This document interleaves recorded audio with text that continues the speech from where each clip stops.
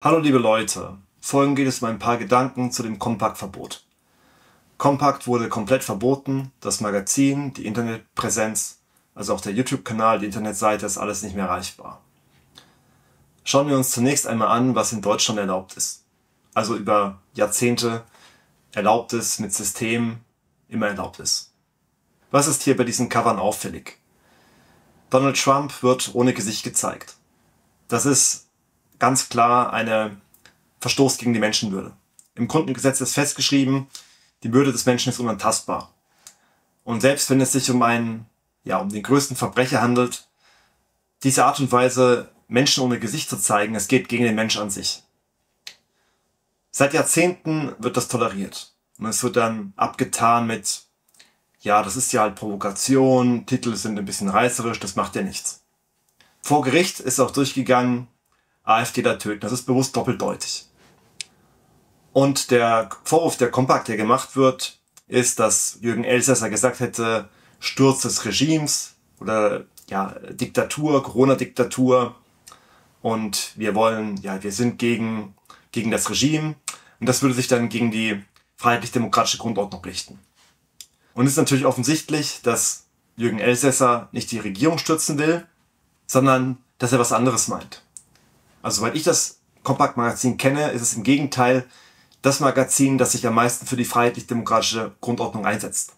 Und sich da sehr stark abhebt von den großen Medien, die sich nicht für die demokratische Grundordnung einsetzen, sondern im Gegenteil sie mit Füßen treten, die Menschen täuschen und dafür sorgen, durch ihre kartellartiges Verschweigen, dass die Demokratie hier nicht funktioniert. Dass Menschen dämonisiert werden, dass ganze Länder dämonisiert werden dass das Allgemeinwohl gefährdet wird, der Frieden gefährdet wird.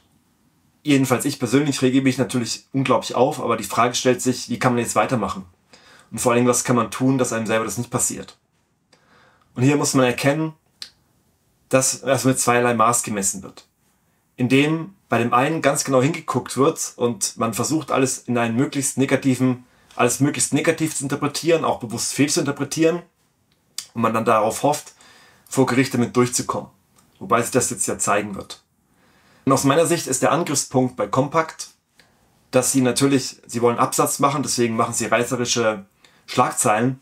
Und aus meiner Sicht sollte man darauf verzichten, zugunsten von Präzision. Also immer noch reißerisch von mir aus gerne, äh, man muss präzise sein. Und zur Präzision gehört, dass man auf Vergleiche verzichtet. Weil die Geschichte wiederholt sich nicht. Also wenn man beispielsweise sagt Stasi 2.0, oder Corona-Diktatur. Diktatur ist auch ein geschichtlicher Begriff. Aber das, was wir hier haben, dafür gibt es keinen Begriff, weil Geschichte wiederholt sich nicht und es wird natürlich absichtlich kein Begriff dafür eingeführt. Weil das ist ja ein Teil, in dem man die, die Bevölkerung sprachunfähig macht. Also indem man nicht darüber reden kann, kann man es nicht benennen oder kann man es nur schwer benennen. Und wenn man dann Begriffe verwendet wie, wie Diktatur, dann können die großen Medien sich sofort draufstützen und sagen, es ist ja hier gar keine Diktatur, es ist ja was ganz, es ist ja, ist ja Blödsinn, was du erzählst. Aber das ist der Trick. Und hier muss man sich selbst Begr Begriffe schaffen. Und was ich jetzt gewählt habe für die Situation hier, ist nicht funktionierende Demokratie. Also das trifft es für mich und ich sage auch nicht, die Medien sind gleichgeschaltet. Weil da diese Gleichschaltung, das ist auch ein geschichtlicher Vergleich zu den Nazis. Sondern ich sage kartellartig, um möglichst keinen Vergleich zu bemühen. Also ich sage, die, die Medien berichten kartellartig, verschweigen sie. Damit versuche ich, ihr könnt ja schreiben, ob, euch, ob ihr es noch besser benennen könnt. Also ich bin immer, bin immer offen für Verbesserungsvorschläge. Aber ich versuche zumindest bewusst auf geschichtliche Vergleiche zu verzichten. Und natürlich, wenn man jetzt sagt, die Medien sind gleichgeschaltet, dann, dann ist natürlich der, der Aufreger viel größer, weil es denken alle an die Nazis. Aber genau das macht einen noch angreifbar. Dann sagt man, ja, das ist ja Unsinn, das ist ja doch heute gar nicht da, wie damals, das ist doch ganz anders. Und dann wird man so vorgeführt. Und das kann man bei jedem geschichtlichen Vergleich, kann man das zu einem gewissen Grad machen, weil man, weil sich Geschichte nicht wiederholt. Oder auch wenn man von einem Regime spricht, es ist mir, ich glaube, ich weiß schon, was Jürgen Elsässer meint, natürlich. Aber Regime, dann kann man natürlich sagen, ja, hier die Regierung ist doch keine Diktatur, man kann doch frei wählen und, und das hat doch alle, jeder hat auch seine Rechte, seine demokratischen Rechte. Und dann ist es sehr leicht für, für die großen Medien, auch für die Regierung, Kritiker als Dummschwätzer hinzustellen. Und deswegen sollte man, und diese Vergleiche ranzuziehen. Natürlich, man möchte einen Aufreger haben und es ist natürlich auch zum gewissen Grad ein, ein Ausdruck von Hilflosigkeit. Aus meiner Sicht ist es ganz wichtig, dass man sich intensiv über Sprache Gedanken macht, man sich genau überlegt, was sagt man. Und umso mehr, umso präziser man ist, man kann natürlich immer noch präziser sein, desto weniger ist man angreifbar. Und aus meiner Sicht, kompakt wäre das nicht passiert. Ich kann es natürlich, ist nur meine Vermutung, wenn man auf diese, wenn man auf diese Vergleiche verzichtet hätte. Aus meiner Sicht, es hätte gereicht, also, es ist jetzt nur mein persönlicher Geschmack, aber ich brauche dieses Reißerische nicht. Mir reichen interessante Titel, wo auf einen interessanten Sachverhalt hingewiesen wird. Ich brauche da nicht Stasi oder irgendwas Diktatur. Ich denke, man sollte da nicht versuchen, das Reißerische auch im negativen Sinne von den großen Medien zu kopieren. Überhaupt die großen Medien in ihrer Art und Weise zu kopieren. Sondern ich will andere Medien konsumieren. Ich will sachliche, neutrale Medien konsumieren. Unaufgeregt wenig emotional. Ich möchte keine Emotionen haben. Ich möchte möglichst, also ich möchte sachlich informiert werden und mir meine, mir meine Meinung vernunftorientiert bilden. Und ich, ich, es soll auch keine Kritik sein. Ich verstehe ja, man kompakt, sie müssen sie auch verkaufen, um sich finanzieren zu können.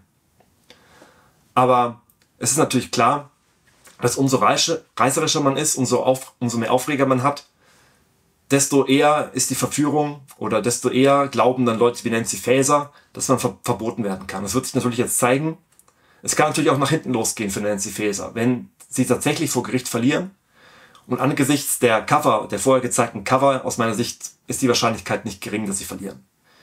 Wobei natürlich jetzt ist natürlich, ich weiß nicht, wie lang, wie jetzt die Prozesse sind, wie lang jetzt die ganzen Webseiten dauern, sind ist natürlich für Kompakt ein riesiges Problem, dass sie jetzt ja, dass sie jetzt nichts verkaufen können. Aber trotzdem, wenn, wenn sie verlieren, wenn die Bundesregierung das verliert, dann ist es für, dann wäre es für Nancy Faeser katastrophal. Aber trotzdem sollte man aus meiner Sicht versuchen, so, wirklich, so wenig Angriffspunkte wie möglich zu geben. Also keine Vergleiche zu bemühen, dass also vor Gericht es vollkommen aussichtslos ist. wenn es vollkommen aussichtslos ist, am besten macht man es aus meiner Sicht dann, wenn man aus, komplett ausgeschwiegen wird von den großen Medien. Weil das ist das dann das Einzige, was sie machen können.